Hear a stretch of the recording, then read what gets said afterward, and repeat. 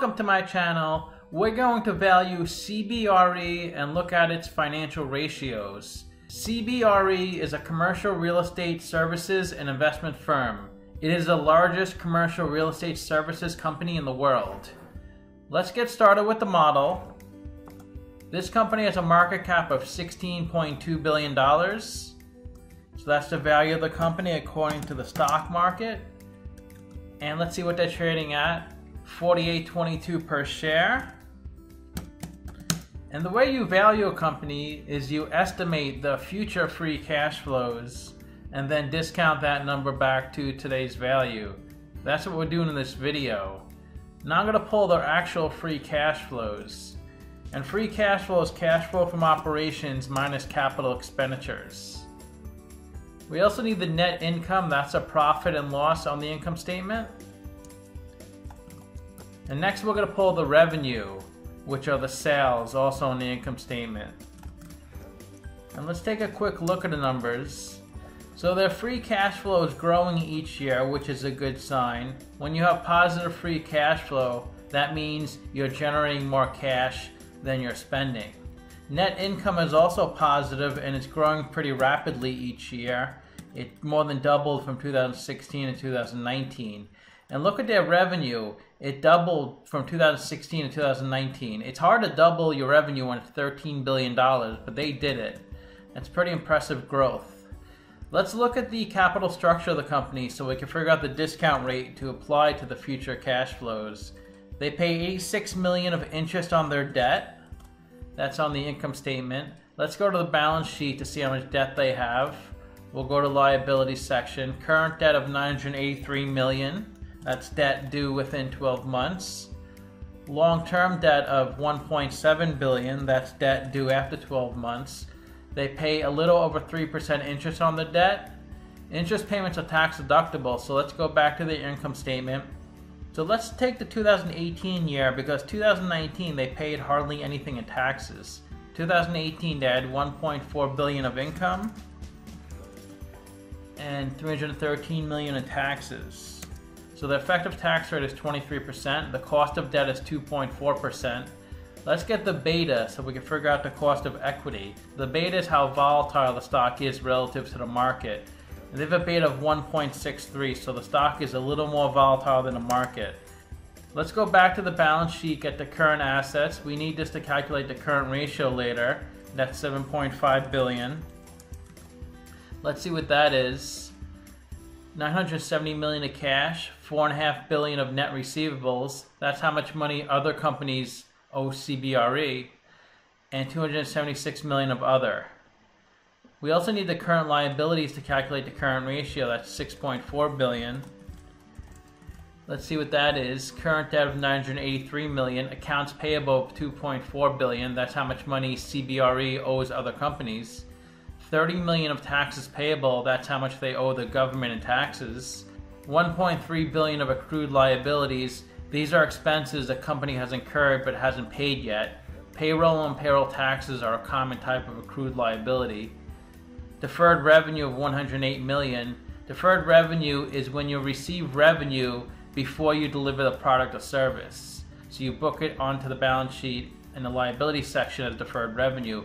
But when you deliver the product or service, you pull it off of deferred revenue and onto the income statement as revenue. And they have 122 million of other. Equity of 6.2 billion. That's the value of the company according to the balance sheet. Equity is total assets minus total liabilities. That's 3.3 million of common stock, 5.8 billion of retained earnings. Retained earnings is a sum of all your prior net incomes minus the sum of all the dividends you've paid in the past. And accumulated other comprehensive income of negative 680 million. These are unrealized losses the company has not incurred. Unrealized means it hasn't sold the investment yet to realize the loss. We also need the EBIT, earnings before interest and taxes. That's 1.3 billion. Let's look at a capital structure. They have 31% debt, Cost of debt is 2.4%. 69% equity. Cost of equity is 14.8%. and the WACC is 11%, which is a blend of the cost of debt and cost of equity. And that's a discount rate we're going to apply to the future cash flows. We estimated four years of future free cash flows. We also estimated terminal value, which is all cash flows past year four, that's 15.5 billion. We discounted those numbers back to today using a weighted average cost of capital. We get a value of the company of $14 billion. We divide that by 336 million shares, and we get a calculated stock price of $42. They're trading at $48, so they're trading at a 16% premium. It's a sell according to the model.